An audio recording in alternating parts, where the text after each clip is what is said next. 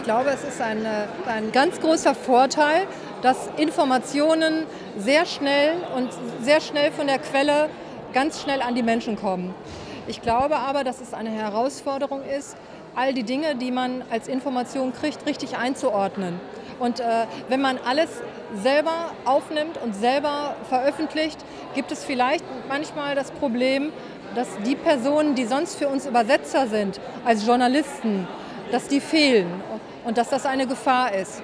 Was, die, was zum Beispiel die Tatsache betrifft, dass Informationen nicht auf, auf Wahrheitsgehalt überprüfbar sind, dass Einordnungen nicht richtig erfolgen können. Das ist eine Herausforderung, glaube ich. Hm.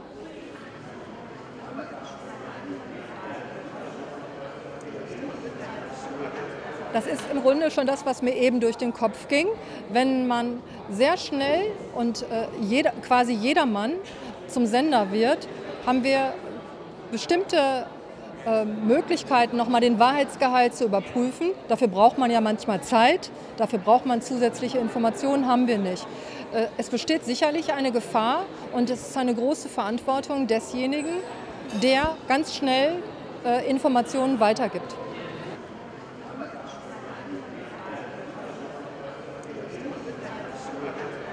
die Anonymität des Netzes, die Möglichkeit, sehr schnell Dinge zu verbreiten, geben auch die Chance, Dinge zu verbreiten, die, die schlecht sind, die ähm, äh, sozial problematisch sind, die andere diskriminieren. Die, die Gefahr ist sehr groß, ähm, weil es teilweise so leicht ist, sich, ohne dass man sein Gesicht zu erkennen geben muss, ähm, an der Stelle ähm, einfach weitergibt. Ich glaube, dass es eine große Verantwortung ist, gerade je, von jedem Einzelnen, das zu überprüfen. Es ist aber auch eine gesellschaftliche Verantwortung über Bildung und auch über Diskurs darüber, an welcher Stelle ist Meinung, freie Meinung gefragt? Das ist in der Demokratie, Demokratie etwas ganz Wichtiges. An welcher Stelle gibt es schutzwürdige Interessen anderer, die überwiegen?